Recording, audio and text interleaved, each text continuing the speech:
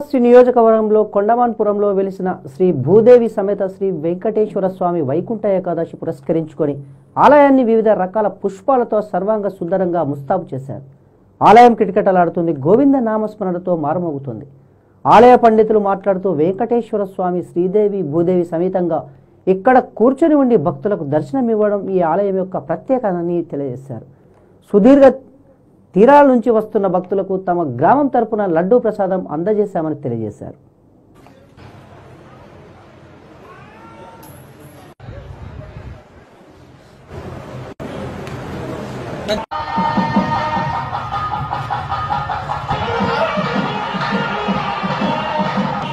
Yeah.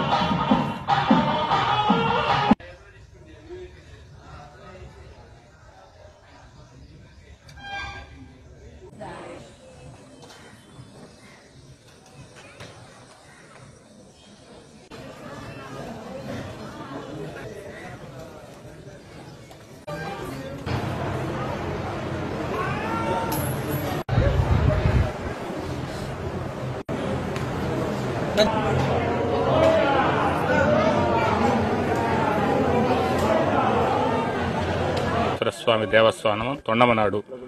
Tondaman చక్రవర్తి ఇక్కడ నడయాడిన ప్రాంతం ఇది. ఆయన కోట కూడా ఉండేది ఇక్కడ తొండమాన్ చక్రవర్తి. ఈయన ఆకాశరాజు యొక్క తమ్ముడు స్వయాన వెంకటేశ్వర స్వామికి చిన్నమామ గారు అవుతారండి.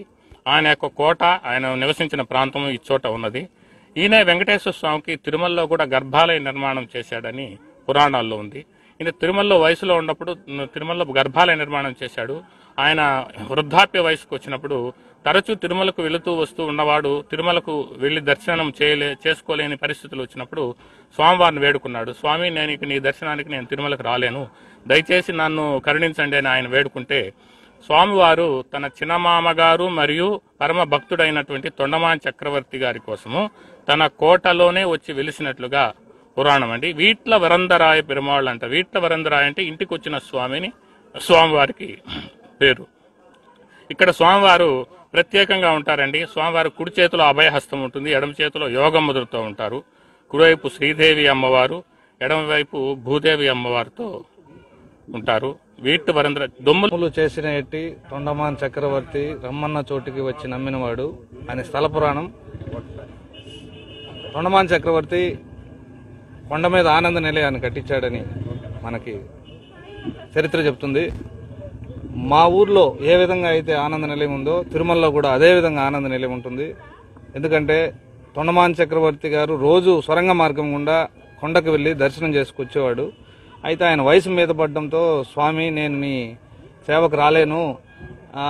ఎట్లా స్వామి? నేను నేను దర్శనం చేసుకోకపోతే నా నా ఇది ఏంది? అని అడగడంతో నేనే నీ ఇంటికి వచ్చి వెలుస్తాను అని చెప్పి స్వామి స్వయంగా శ్రీదేవి భూదేవి సమేతుడై ఇక్కడ వెలిశాడు.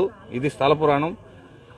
తొండమాన్ చక్రవర్తి కట్టించిన దేవాలయం ఇది. ఆయన కోటలో స్వామివారే స్వయంగా వచ్చి వెలిశారని స్థల పురాణం చెప్తుంది.